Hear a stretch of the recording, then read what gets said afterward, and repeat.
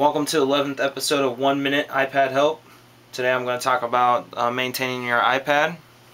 Just go to settings and the big thing is clearing out your history and everything on your search uh, your internet browser which is Safari. So on the left side here select Safari. Go down at the bottom here. You want to clear your history. You clear it. Clear your cookies and clear your cache. And that ensures that anything that could have gotten on your system is, uh, well, from the internet is deleted.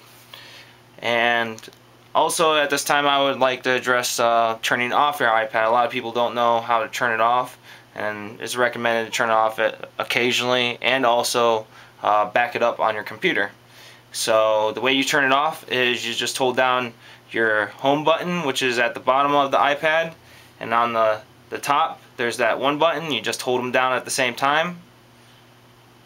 It asks you if you want to turn off your power you slide it.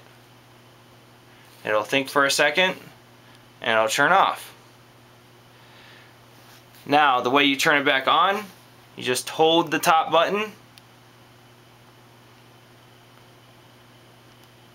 And a little apple should pop up.